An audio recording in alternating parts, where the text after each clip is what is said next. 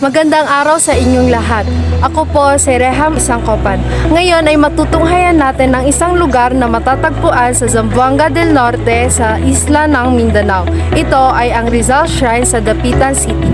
Ano nga ba ang lugar na ito at bakit ito makasaysayan? Halina't alamin at sabay-sabay matuto sa video na ito.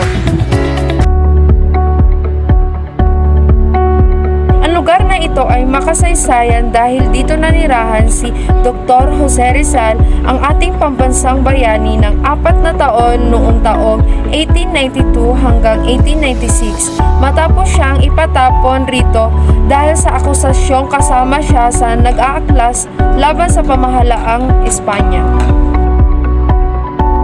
Sa pananatili niya sa dapitan ay nanalo siya sa isang lottery kung saan nakatanggap siya ng 6,200 pesos.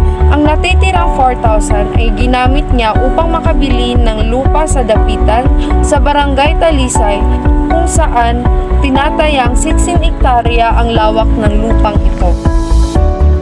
Sa Rizal Shrine, makikita ang replika ng mga bahay na itinayo ni Jose Rizal.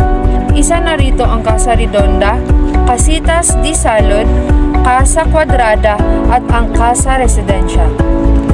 Ang Casa Redonda ay nagsisilbing klinik ni Rizal.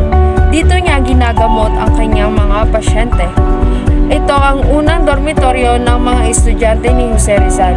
Dito din nanirahan si Josephine Bracken nung dumating siya sa Dapitan. Dahil sa pagdami ng kanyang mga pasyente, ginawa niya ang Casitas di Salud na isang maliit na ospital para sa mga pasyente mula sa malayong lugar. Ang isa ay para sa mga lalaki at ang kabila naman ay para sa mga babae.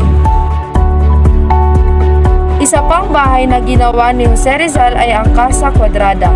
Ito ay nagsisilbing pangalawang dormitoryo ng mga estudyante ni Jose Rizal. At ang espasyo na nasa baba nito ay ginamit na pagawaan. Ang huling bahay ay ang Casa Residencia. Ito ang bahay ni Jose Rizal.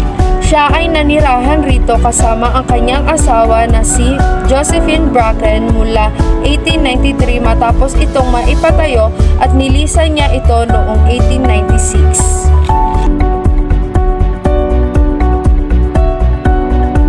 Naman ang baton ng Mi Retiro.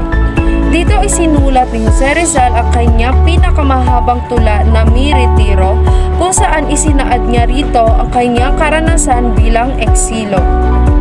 Sa Rizal Shrine sa Dapitan din makikita ang museo ni Jose Rizal. Nakalagay sa museo na ito ang mga naipreserbang gamit ni Jose Rizal tulad ng kanyang damit, mga liham, at kanyang mesa kung saan siya nagsusulat at nagpipinta.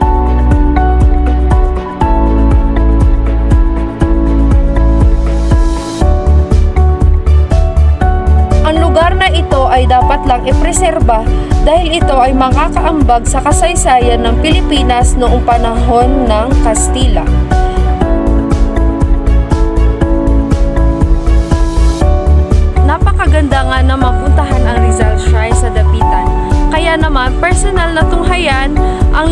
Kung saan nanirahan ng apat na taon ang ating pambansang bayani na si Dr. Jose Rizal. Ito ay bukas mula alas 8 ng umaga hanggang alas 5 ng hapon. Muli, ako po si Reham Sangkopan. Salamat sa pakikinig.